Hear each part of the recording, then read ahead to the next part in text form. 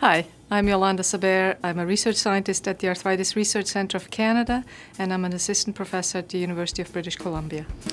Osteoarthritis is the most common form of arthritis, and it's a progressive uh, type of arthritis that leads to pain, swelling, stiffness, and uh, limited mobility in the joint. The most common joint affected is the knee.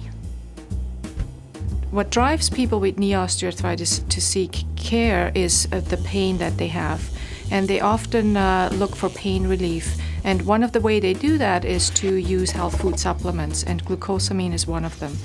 Because glucosamine is so widely used, we were interested in studying whether it's actually effective in the treatment of knee osteoarthritis. All of the patients in our study were taking glucosamine to improve their symptoms.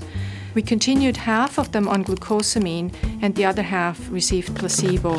And then we followed them for six months to assess for uh, a flare of symptoms.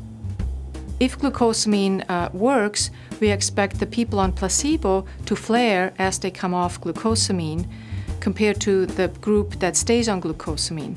Uh, but that's not actually what we found. The results of the study showed that there was no difference between the two groups. What we found was actually that 45% of people in the glucosamine group flared and 42% in the placebo group. A second large US study that was funded by the National Institutes of Health has since confirmed our findings. Although people continue to debate whether glucosamine works, scientific results suggest that perhaps it's not as effective as we hoped it might be. So, given our findings, there's really no guarantee that glucosamine will work.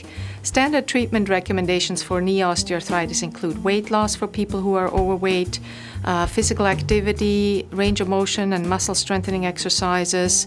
Uh, some people can uh, use bracing or benefit from orthotics or pain medications if pain is severe.